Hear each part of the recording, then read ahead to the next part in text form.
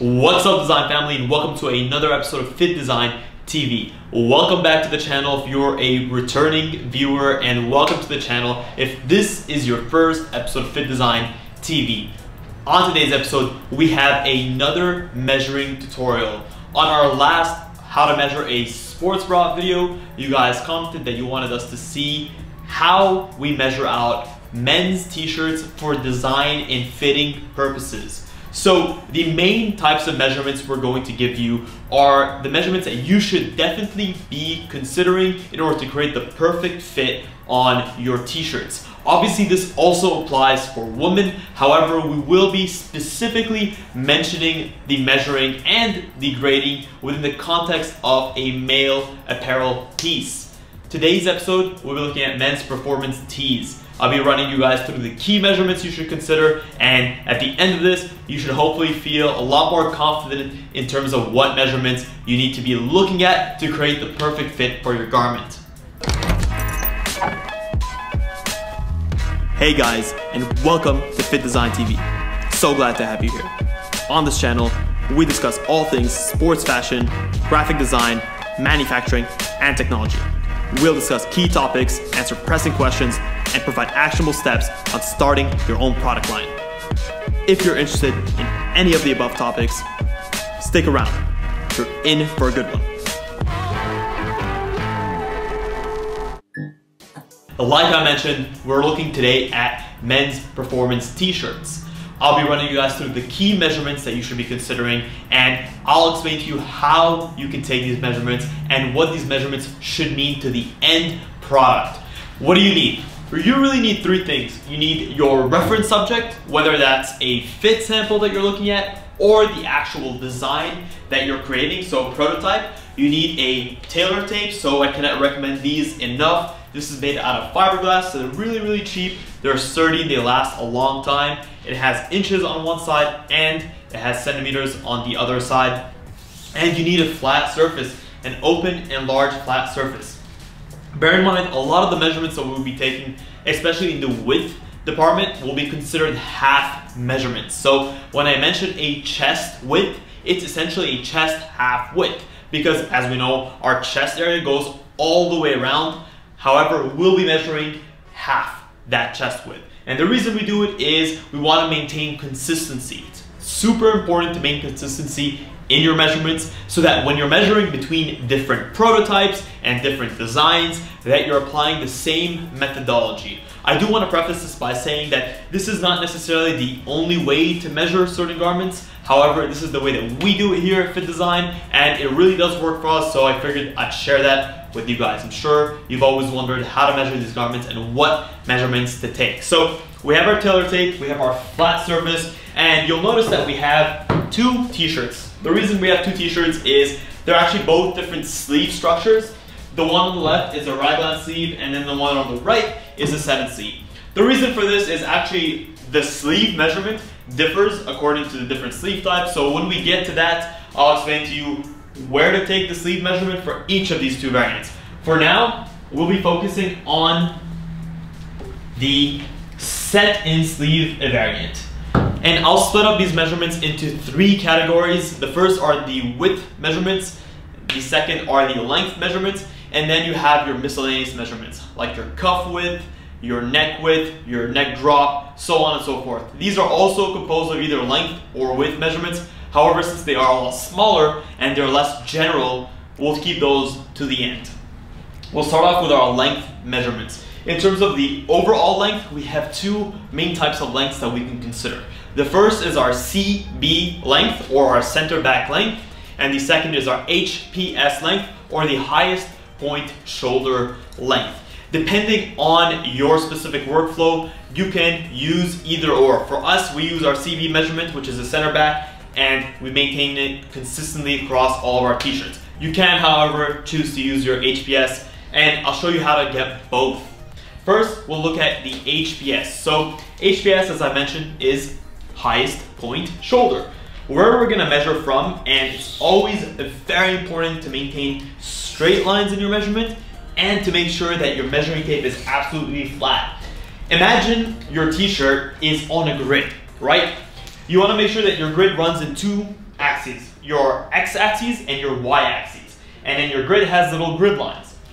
You want to make sure that your t-shirt is always parallel to that grid and perpendicular to that grid, right? Depending if it's the X or Y. You don't want your t-shirt to be wonky and you're essentially measuring in angled ways, right? So you're trying to measure your HPS going straight up and down. However, you're not measuring it a perpendicular. That will severely skew your measurements. So it's super important to make sure that your measurements are going straight up and down your grid. First, we'll start off with the HPS measurement. The HPS measurement, again, highest point shoulder, and we'll essentially start off at the top left corner of our collar seam. So the highest point on your shoulder and we'll go straight down to the very bottom of our bottom hem. So this is our hem, that's our bottom hem, making sure that it's perpendicular throughout. So here we can see that our HPS is 26.75, around 27. So you can allow for a bit of, let's just say, uh, tolerance in your measurements. Typically it's around 0.5 inches. So that's how we measure our HPS. Next, we'll measure our center back. The reason why sometimes you may have to go with your HPS is if you have a really weird detail on the back of your neck where the rear neckline drop is just kind of extreme. So you have two neckline drops. You have your front neckline drop and then you have your back neckline drop. And those neckline drops, just as a side note, are typically measured perpendicularly from the grid line that goes off the top of your collar to the other top of your collar. So your rear neckline drop and then your front neckline drop.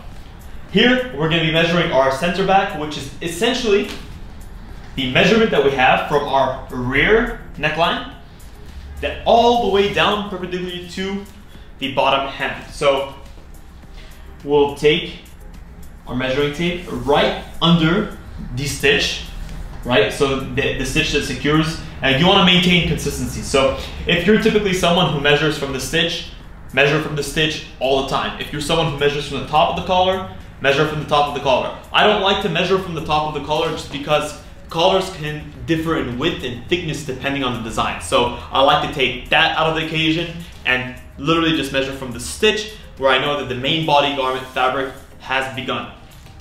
And then I factor in the thickness of the collar if I need to later on. So we grab our measuring tape, start off at the top, right at the stitch line, coming all the way down, and we have 25.75. So you can see that the HPS measurement difference and the CB measurement difference is around one inch, and that can stay consistent across your sizes. So that's our center back measurement. Next, we'll look at our width, our key width measurements. Our key width measurements, again, as I specified, are going to always be half measurements. This is literally going across the front half or the back half of the garment. It's not a circumference measurement and it's always measured with the garment not worn, laid flat on a table. The three main width measurements that we're going to have to take are the chest half width measurement, the waist half width measurement, and then the bottom hem half width measurement. For the chest half width measurement, we go from your chest area, armpit to armpit, all the way across, making sure the fabric is nicely stretched, but you're not applying tension to it. So you're letting the fabric relax the way that it naturally would. Do not apply tension to it. Don't try to get it to stretch out to its maximum. And at the same time, don't leave it all wrinkled. Make sure that you can get the garment feeling comfortable and naturally flat on the table. We'll go from left to right or right, right to left, depending on the way that you see fit. And that's our chest half width measurement. Next, we'll look at our waist half width measurement. The waist is interesting. Typically, the way that I like to take it is I will measure from the armpit, so essentially the grid line that I took the chest half width to the bottom of the hem. Here I have 16.5 and I'll divide by 2. So 16.5 divided by 2 is 8.25. I'll measure that and I'll typically know my waist should be around here. So my waistline in this sense is exactly halfway between my chest half width and our bottom half width grid lines, right? We're still operating on grid lines. And the reason I use the word grid lines is just you really have to just imagine these lines going across. So Here, I'll measure left to right as well, making sure that my tailor tape is completely flush with the left side and it's perpendicular to my left side, going straight across the garment, measuring, and here I have 19.25. And now, finally, we have our bottom half width measurement, which is pretty much the easiest. You just go from corner to corner at the bottom width, making sure again that your garment is nicely laid out and that you don't have any excessive pulling or excessive wrinkles that could distort the envelope or the shape of the garment. Here, we'll go side to side, and we also have similar measurements. So this design is a straight box cut.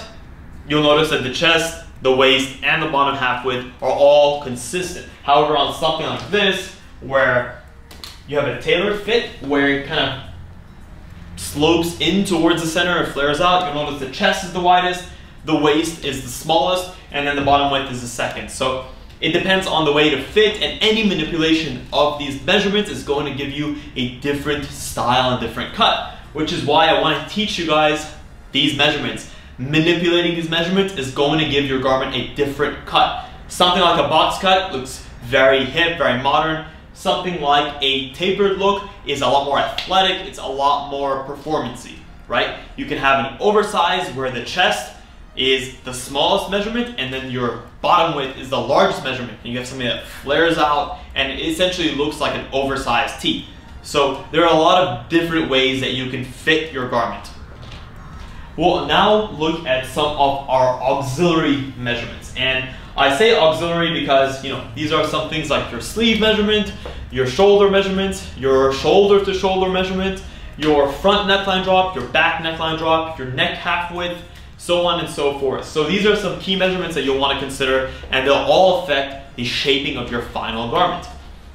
We'll start off with our sleeve measurement and this is where this bad boy here will come into play and I'll show you how to measure a sleeve measurement for both a set sleeve and then a raglan sleeve. And if you guys want to know what the actual difference is between a raglan sleeve and a set sleeve, we've done a video I highly recommend you check out. It's basically a tutorial on how to identify both types and what are the pros and cons of each in relation to each other. So we'll start off by measuring the sleeve length of our set in sleeve tee. We'll literally go from the seam that connects the shoulder or the main torso piece to the sleeve piece and we'll go we'll run along the half envelope till we reach the cuff hem and here we have seven inches making sure not to overstretch the garment and at the same time making sure that there are no excessive wrinkles. What's the difference? So here we measured our shoulder seam from essentially from our shoulder, from where our shoulder would sit down to where our arm pops out of the garment. On a raglan you don't have this shoulder seam, right? As you can see, you have your torso piece and then you have your shoulder or your arm piece that kind of blends into your shoulder. So it's a bit of a different construction. It has its benefits, it has its negatives. This is not the video to explain that. However, in terms of measuring out your shoulder seam or your sleeve length, in this case, we're going to go not from any shoulder seam, you won't go from here. You'll essentially go from where your collar ends on the right side of the, or the left side of the collar, depending on the sleeve you're measuring. Measure from the stitch line all the way across, maintaining your tape parallel to the edge of the garment. And here we have 12.5 inches. So you can see here where we had around seven inches, the reason it's a lot smaller is because we're not counting for the actual shoulder length that we have. Here, you kind of have like the sleeve length and the shoulder length baked in together. That's the difference, and I did want to mention that just because I know that the raglan sleeve is a very, very popular cut, especially in the sportswear space. Let's go back to our set sleeve, good old faithful set sleeve. The other measurements that we want to consider, especially from a like shoulder proportion, is shoulder to shoulder. The reason why we want to mention shoulder to shoulder is it gives the breadth of the shoulders. Having a wider shoulder will create a wider stance to your t-shirt. And having a lower shoulder to shoulder measurement will create more of like a, let's just say a narrow look. This garment itself has a wide shoulder to shoulder measurement, which gives my body or like the shoulders a bit more structure. It looks more a bit like a military kind of look to it, a bit more of a European look versus something that's more set in that may look a bit less kind of structured in its approach. So that's why it's important sometimes to provide that shoulder to shoulder seam. Here we'll go from your top left corner to your top right corner, maintaining a nice, comfortable relaxation in the fabric. And here we have 18.5. So we'll literally go to this from the seam, from the top left corner of the seam where the sleeve pattern connects to the main torso pattern and to the right sleeve pattern connects to the main torso pattern. So those seams connect in a straight and perpendicular line. And now we'll also want to measure the individual shoulder length. So the shoulder length is also measured from the outside of the collar. So we're never measuring including the collar width. I always eliminate the collar width here. The collar width is a variable that we can't necessarily control and it depends on a lot of factors. So I eliminate it from my measurements and I stay consistent. You see, I did not measure my center back length with the actual collar piece height, so I won't measure my shoulder length with the collar piece height because that will skew my measurements, especially when we're getting to smaller measurements, making sure that you're maintaining consistency in your methodology is key so as to not skew your results. Believe me, 0.5 inches can make all the difference when it comes to garment design, especially when it comes to a lot of these smaller measurements that are going to have a lot more impact on the final product.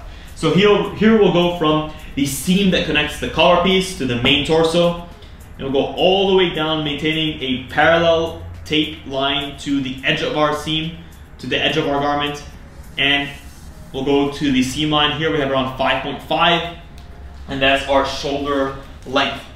The next measurements that I'll definitely want you guys to consider, and this is a bit more of a fitment, so it, it, has to do with really how the garment is going to fit, is the perpendicular armhole length. This one can be a bit tough to get your hat, head around, but it's super important.